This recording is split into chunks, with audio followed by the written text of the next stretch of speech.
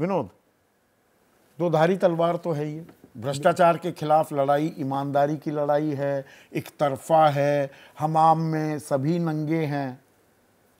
जनता के भरोसे पर टिकेगी ये जाकर लड़ाई? देखिए संदीप भाई ये कहना बड़ा सरलीकरण है कि हमाम में सभी नंगे हैं। मुझे लगता है कि जो सारा मामला सामने आया है चाहे वो दिल्ली का शराब घोटाला हो चाहे इलेक्ट्रोल बॉन्ड्स का मुद्दा हो और चाहे जो संजय सिंह ने अभी ये पैंतीस कंपनियों का जो बताया कि उन्होंने इतना दावा किया है। हाँ जो जिसका वाजपेयी ने बड़े खूबसूरती से जवाब दे दिया है बीजेपी वाले भी जवाब नहीं दे पाते जैसे वाजपेयी जी ने दिया। मुझे लगता है ये फैक्ट्स तो तथ्य तो सामने आ गए हैं। अब इन तथ्यों में कि वाकई एक चूँकि इतना गंभीर मामला है ये कि कोई बड़ी कमेटी बना करके निष्पक्ष जाँच होनी चाहिए और चाहे सुप्रीम कोर्ट मॉनिटर करे उसको और उसमें सब केसेस को लेना चाहिए। जो विपक्ष पर आरोप है उनको भी ले और जो सत्ता पक्ष पर आरोप है उनको भी ले। वैलिड पॉइंट है आपका पर कब नॉमन तेल होगा कब राधा नाचेगी तब तक तो चुनावी नतीजे भी आ जाए नहीं तो अब जनता फैसला करेगी फिर क्योंकि मामला जनता की अदालत में तो आ ही रहा है। देखिए विपक्ष की सबसे बड़ी कमज़ोरी क्या है जो अभी आपने मनोज सिंह काका से कहा कि आप टीवी पे आ गए आपने बोल दिया संजय सिंह ने या मनोज सिंह काका ने बोल दिया या और लोग बोल देंगे। सवाल है जनता के बीच कब जाएँगे? क्या जनता के बीच कभी गए इस मुद्दे को लेके? अभी इलेक्ट्रोल बॉन्ड का मुद्दा ऐसा है क्या गाँव गाँव पहुँच गया? मुझे तो नहीं लगता अभी लोगों को पहुँचा होगा। अभी तो हम टीवी में बहस कर रहे हैं आपने कई बार लगातार शो किया तो थोड़ा बहुत पहुँचा।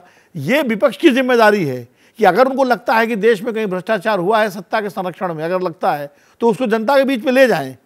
और अब तो इससे बढ़िया मौका? बीजेपी ने किया जो 2011 BJP और 13 के बीच में। बीजेपी ने तो उन्नीस में भी किया राजीव गांधी वाला जो मामला बोफोर्स वाला था। 1974 में इंदिरा गांधी के खिलाफ जब भ्रष्टाचार का कोई मुद्दा नहीं था सॉलिड खाली वो मशीनरी के दुरुपयोग का मुद्दा था यशपाल कपूर वाला। और जब उन पर इलाहाबाद हाईकोर्ट ने उनको जो है उनकी प्रधानमंत्री पद से उनकी हाँ, चुनाव एजेंट बन गए थे तब। तब आंदोलन हो गया पूरे देश में और सड़क पर विपक्ष उतार आया पटना में बिहार में जेपी के नेतृत्व तो समझाने की भी बात आएगी ना बिल्कुल। कौन है भ्रष्टाचारी? अपने पत्ते पूरे खोलने होंगे। अपने पत्ते खोलने होंगे और तथ्य रखने होंगे जनता के सामने और ये तो बहुत बढ़िया मौका है चुनाव का मौका है। नहीं तो ऐसा लगेगा शूट एंड स्कूट भी हो रहा है कि दावा किया और निकल निकल लिए वो तो, तो वो नहीं चलेगा। अगर आपको वाकई इस मुद्दे पे लड़ना है और और सरकार को आप घेरने की बात कर रहे हैं तो फिर जनता के बीच में जाइए और जनता को समझाइए। बीजेपी तो समझा रही है जनता को। भाई प्रधानमंत्री नरेंद्र मोदी रोज रैलियाँ कर रहे हैं रैली में खूब बातें उठा रहे हैं। वो पीछे हटने को तैयार नहीं वो तैयार नहीं वो अपनी बात कह रहे हैं। अब विपक्ष क्या अपनी बात कह पा रहा है? विपक्ष तो अभी वही पुरानी मुझे तो नहीं सुनाई पड़ रहा प्रभावशाली तरीके से विपक्ष के इस मुद्दे को लोगों के बीच में ले जा रहा है। वो तो पुरानी रट वही पुरानी जो नैरेटिव्स हैं वही चल रहे हैं उनके। मैं तो आज राहुल गांधी का भी भाषण सुना क्या अकेली लड़ाई लड़ती भी दिखाई दे रही है? आम आदमी पार्टी इकतीस मार्च को चलिए रामलीला मैदान में सब आ गई ममता नहीं आई एम के स्टालिन तो खैर कहीं चुनावी सभाओं में मसरूफ थे पर सबको साथ आने की भी ज़रूरत है। तो ये लड़ाई लड़ी जाएगी। देखिए लड़ाई तभी लड़ पाएँगे। वरना प्रधानमंत्री मोदी अपनी क्रेडिबिलिटी के सहारे ये भ्रष्टाचार की लड़ाई की नैया पार ले जाएँगे। देखिए विपक्ष को अपनी साख साबित करनी होगी अपनी एकजुटता बनानी होगी और कम से कम भ्रष्टाचार जैसे मुद्दे पर जिसपे उसके तमाम नेताओं पर आरोप लगे जो उसका कहना है कि गलत तरीके से लगाए जा रहे हैं। अगर वो वाकई उस चीज़ को जनता के बीच में एकजुट तरीके से ले जाते हैं तो जनता तय करेगी तो। दोधारी तलवार है इसकी आँच पड़ सकती है बीजेपी पर? बिल्कुल दुधारी तलवार है और दोनों के लिए दुधारी तलवार है। बीजेपी पर भी पड़ सकती है विपक्ष भी पड़ सकती है लेकिन एक बात मैं ज़रूर कहूँगा कि अभी तक का इतिहास ये रहा है कि सरकार पर आरोप भ्रष्टाचार का लगता था इस बार सरकार विपक्ष पे लगा रही है। गंगा बह रही है। पहले भी लगे हैं विपक्ष पे ऐसा नहीं है कोशिश हुई है। कोशिश हुई है चौहत्तर में इंदिरा गांधी ने कहा कि सेंट किट्स का मामला नवासी में वीपी सिंह के खिलाफ खोलने की बात हुई थी। बीपी सिंह सेंट किट्स का मामला आया हाँ। था बीपी सिंह के खिलाफ। उन्नीस में जो है नरसिम्हा राव सरकार ने हवाला का मामला खोल के सारे विपक्ष के नेताओं को हाँ, लपेट लिया था। लपेट लिया था। हाँ। तो हुआ लेकिन तीनों बार विपक्ष को फ़ायदा हुआ। चौहत्तर में विपक्ष को फ़ायदा हुआ नवासी में विपक्ष को फ़ायदा हुआ और छियानवे में विपक्ष को फ़ायदा हुआ। अब ये मौजूदा विपक्ष क्या उस तरह से तो फ़ायदा और सकता है क्या? नुकसान की भी बात है। तीस सेकंड में बहुत ही क्रिस्प जवाब चाहूँगा संगीत प्लीज़। एक टाइमलाइन हमें भी मेंटेन करनी पड़ती है।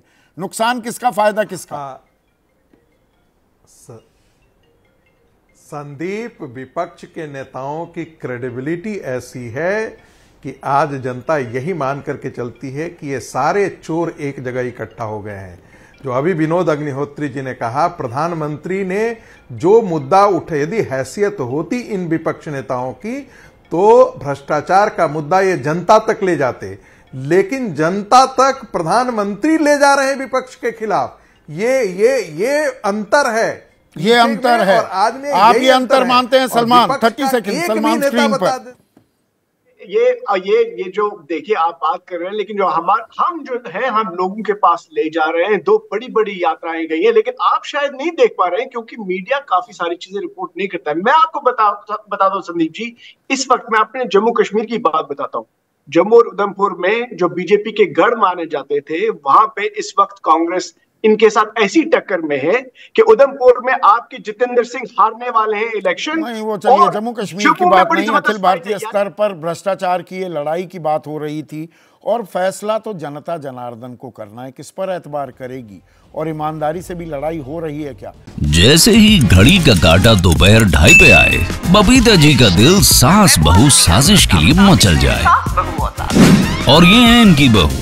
पूरे दिन ऑफ़िस की टेंशन हो जाए गॉन जब ये करें अपना फेवरेट शो फ्री टाइम पे ऑन इनकी तरह, आप भी देखें अपना फेवरेट शो अपने टाइम पर. और डाउनलोड कीजिए एबीपी लाइव ऐप अपने स्मार्ट टीवी पर.